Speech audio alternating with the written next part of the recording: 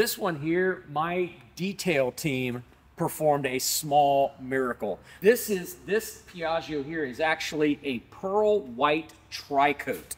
Now, tricoats on cars are pretty amazing, but this thing has a pearl white tricoat paint. That means there's a base coat, a pearl coat, and a clear coat. So three sets of paint on this plane.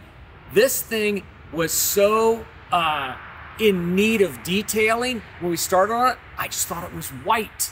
And my son, who runs our detailing team, brought his crew over here and they did their thing on this airplane. And Christian calls me and says, Hey, Dad, you realize this is pearl? And I'm like, I'll be right over. And I came over, and sure enough, man, when this thing polished up, and I mean it polished up like a jewel, and him and his team, they did a heavy compound polish. I mean, they did a lot of work, and, and it shows. This plane is just beautiful.